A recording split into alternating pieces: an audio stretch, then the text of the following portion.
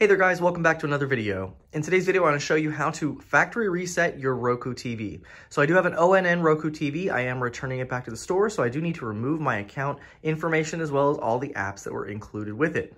So to do this, it's a pretty simple process. You want to scroll down to your settings menu. Once you get to settings, you want to go down to system. Once you're in system, you want to go down to advanced system settings.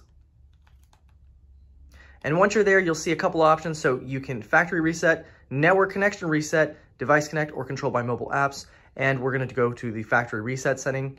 And then you have two options here. You can either reset audio and picture settings, or you can reset everything. So as you can see what it says here, it's asking me to type in a code, and then that will confirm I want to uh, reset it to original factory settings and remove all accounts.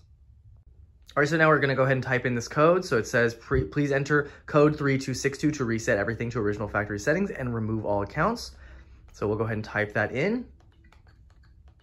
And then once you've typed that in, you can go ahead and select okay. All right, and it says if you factory reset your TV, you'll need to pair your remote and devices. For more help, visit go.roku.com slash reset. You have the option to start factory reset or cancel. So you have multiple confirmations to either do this or not do this. So we'll go ahead and hit yes. We're gonna do that.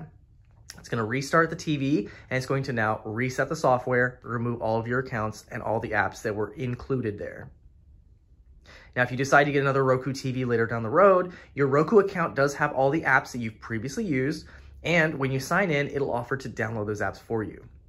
So as you can see, we are restarting. It's on the splash screen and we should come up to the welcome screen where it offers to uh, go through the setup process as it did when you first purchased the TV.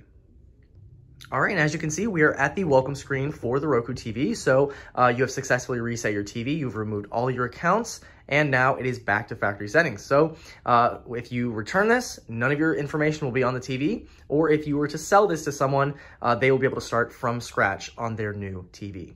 Anyway, guys, hope this has been helpful for you. If you have any questions or comments, feel free to leave them down below, and I'll see you guys in the next video.